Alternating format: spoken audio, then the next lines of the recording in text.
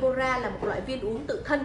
Thì cái viên uống Hebora này thì cực kỳ dễ uống vì cái viên nó màu hồng nhỏ và nó rất là nhẹ nhàng ha, nó không có gây ra cái cảm giác nào khó chịu khi bạn sử dụng. Nó là một sản phẩm mà giúp cho làn da của chúng ta đẹp hơn vì nó thay đổi và cân bằng lại cái nội tiết tố thiếu hụt ở trong làn da của mình. Nó cải thiện chức năng sinh lý nữ và nó loại bớt đi những cái mùi hôi trên cơ thể của mình. Bạn sẽ cảm thấy rất là tự tin khi mà bạn sử dụng Hebora cái này là ốc nghĩ là ai uống rồi là sẽ hiểu, cảm giác rất là rõ luôn. Thì viên uống tạo ra hương thơm tự thân Hebora nó chiết xuất từ thành phần hoa hồng Damas của Bulgari và hoa hồng à, hoa anh đào của Nhật Bản là hoa Sakura đó các bạn.